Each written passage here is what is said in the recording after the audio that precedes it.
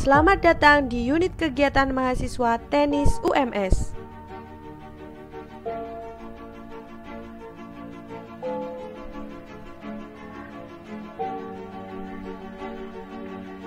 Apa saja kegiatan kita?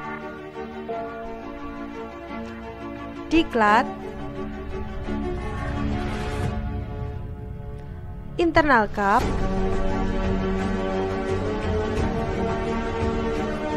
outbound,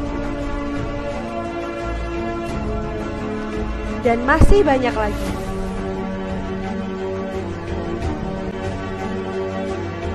Let's join us, kita tunggu kedatangan kalian. Selamat bertemu di UKM Tenis UMS.